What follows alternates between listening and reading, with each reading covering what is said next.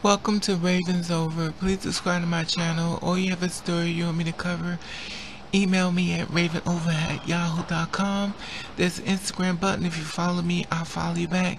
Please subscribe to my channel. And here is the story right now. Please subscribe. Hey, what's up, what's up, what's up? How you doing? How you been? What's going on? What's good? How you getting it in? Getting the. What's going on, people? Okay, here's the update in reference to Stephen Clark, 22 years old, the unarmed black man. Update on Stephen Clark, 22 years old. Police fired 20 times at South Sacramento man fatally shot while holding a cell phone. Like I said before, Google his name, Stephen Clark of Sacramento, California. Now I want to tell you this story about him. This is a long read. Okay. Stephen Clark was holding only his cell phone when he was fatally shot on Sunday night by two Sacramento police officers who fired at him 20 times, the department said Tuesday. Department officials on Tuesday offer more details about what happened in the moments of before Clark, 22 years old, encountered officers in the back of South Sacramento home where he was staying with his grandparents. Now, Clark family members, meanwhile, flooded um, his grandparents' spacious two-story stucco and brick house on Tuesday, demanding answers on what led up to the fatal shooting. His grandmother, Sequita Thompson, pointed from the living room window to the spot where Clark was found. Uh, feet away in the dining room, the walls were covered with framed photos and family members, including Clark he was in the wrong place at the wrong time in his own backyard, his backyard. Thompson said Tuesday, come on now.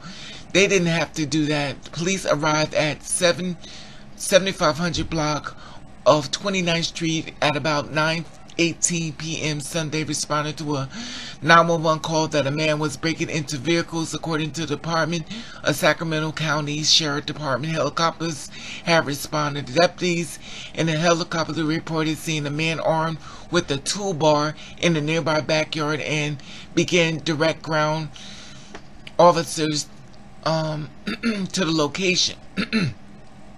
The airborne deputy said that they saw a man use the toolbar to break windows, which police later said was the near um, sliding glass doors occupied home on 7500 block on 29th Street. Now, police Tuesday said that a cylinder blocks and a piece of aluminum siding similar to what would be used in the rain gutters were recovered from a near a broken door and taken to the evidence through Either items were definitely identified as the two bar seems to be disputers in the helicopter. The resident, the resident at the home of Bill Wong, 88 years old, Tuesday, told the Bee that he was unaware of the events as was unfolded on Sunday. He didn't hear or how the window was broken or hear any gunshots, he said. The sliding doors had been patched up by Tuesday morning. I came out, the police is already, he said, out of the night. They didn't tell me, they don't, they don't tell me anything. Police said that after seeing Clark broke Wong's window, the helicopters disputed observed him running south, where he jumped a fence into his grandparents' yard, adapted to Wong's house. Um, he headed towards the front of the property along with the way looking into another car, police said. On Tuesday, where there was a black SUV and a gold Cadillac packed in Clark's driveway. Clark had been staying with his grandparents in the house on and off for more than a month. His family said he had been released from county jail about a month earlier and said the brothers, the brother, um, Stevante Clark. A search of Sacramento Superior Court records found four relative cases of Stephen Alonzo Clark. The most recent were two felony counts of domestic abuse, to which Clark, who preferred to go by the name of Stephen, pleaded guilty and agreed to complete a treatment program. The court records also show that 2008 robbery charges and charges in 2013 possession of firearm and possession of a controlled substance. Now, Clark's family said that the front door bell was broken and the family members would knock on the back door for entrance through the um, garage door. Now, police entered the front yard of Clark's grandparents' house and saw him along the side of the house, according to the original document press. Police said that the officers gave the um, suspect command to stop and show his hands, but he immediately fled from the officers and ran towards the back of the house. It was there the police said that they pursued Clark and where he turned and um, advanced toward the officers while holding an object which extended in front of him. Police said the officers believed that the object was a gun and fired, fearing for their safety. No gun was found at the scene. Police later said that the object was a the object was a cell phone that was found near Clark's body and taken into evidence. Thompson, Clark's grandmother, said that the object was an iPhone. She said that she also found um, with a pair of headphones. Clark's girlfriend, Salena Manni, said the, that the phone Clark held belonged to her.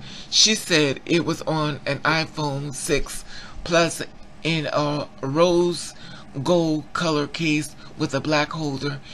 In the back case, items like credit card. Um, department spokesperson Sergeant Vance Chandler said that each of the two officers involved in the shooting fired 10 shots uh, for a total of 20 shots fired. Chandler said that he did not know how many times Clark was hit. Clark was pronounced dead at the scene by the fire department pronouncers. The two officers involved in the shooting have two, have two and four years in the Sacramento Police Department and said, um, and each had an additional four years experience as of other agencies. Now Chandler said on on-scene investigation had been concluded by Tuesday, but the overall investigation would take longer. Typically, reviews of such officers involved police shootings two um, takes months before final reports are issued. The incident will be investigated by homicide. Investigation will be reviewed by the city office and public safety safety accountability, which will release in public records as its finding. Videos of the incident will also be released in um, compliance of the city policy in and act of 2016 after the officers involved shooting of Joseph Mann in North Sacramento that the shooting prompted several of police reforms including requiring all, all patrol officers to wear body cameras and receive um, increased training in de escalating techniques.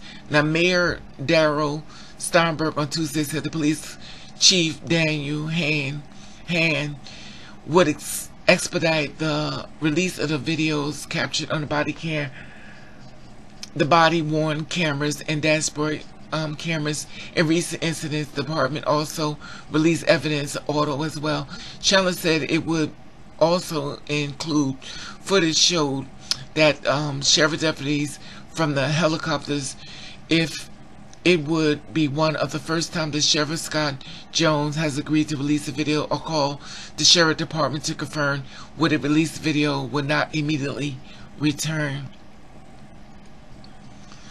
Now, advocates in the African American community has voiced concern over the shooting and how the department will respond to it.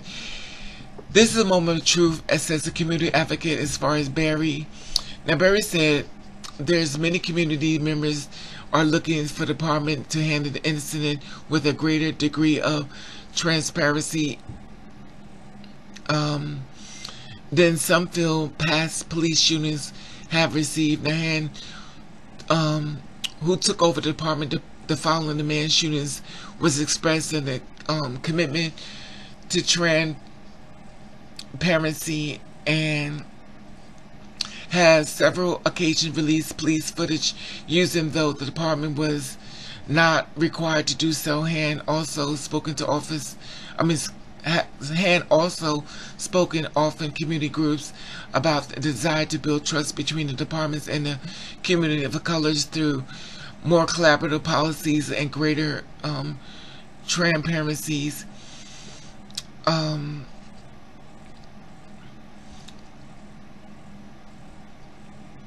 Berry said um, some community members' questions of the shootings was excessive force want to know what led up to the young man being killed. He led the court. He said that the um, Clark shooting is being viewed and defined moments of by many on how far the transparency accountability will go.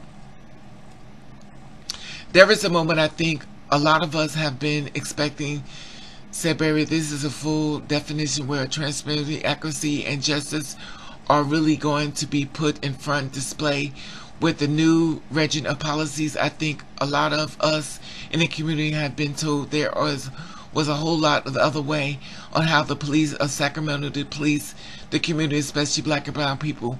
And this will be the test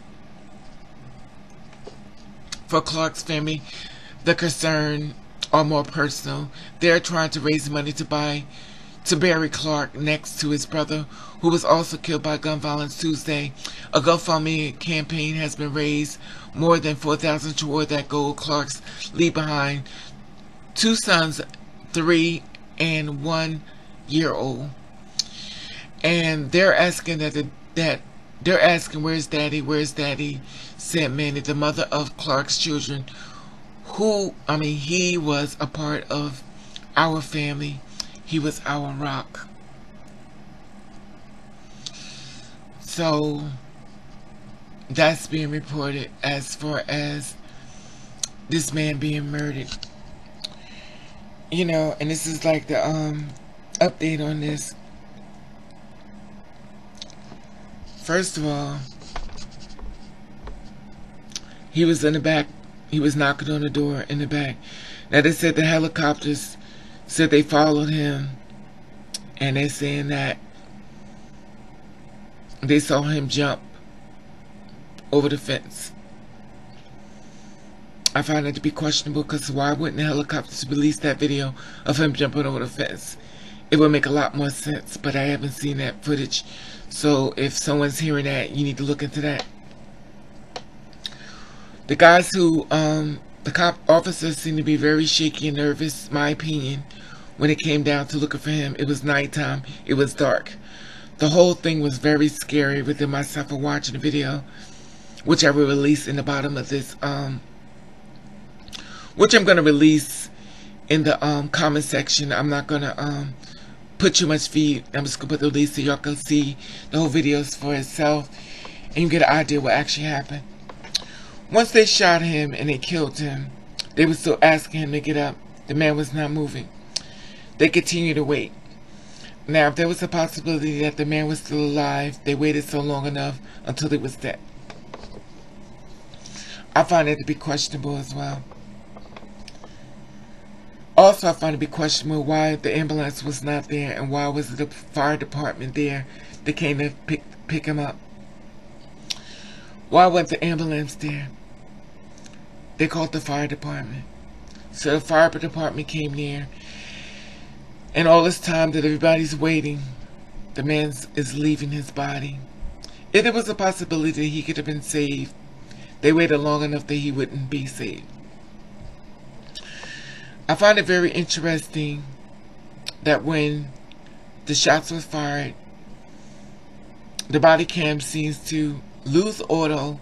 That means that they were talking, but you couldn't hear anything. I find it to be amazing. To me, I always feel as though things become suspect when all of a sudden something comes cuts off and then everybody's still talking and then it cuts back on, which you will notice in the ending part of the video. You will notice them standing around talking and you will notice that the volume is now turned off you see a lot of disappointing faces as though it's almost as if they're trying to get their story together. That they got the discovery that there was no gun, that there was a cell phone. They collaborated their stories. And that's what happened. Me, myself, it was very dark. They could have hollow freeze come out, but they didn't. They started shot shooting. They said his arms was length. Maybe his arms was up in the air. We will never know that. They said his arms was out. So, was it upward out or is it your way out as far as the gun? Because if the man's hands was up in the air and you shot him because it was so dark, because you couldn't see what you were doing. You, he was a black man in black.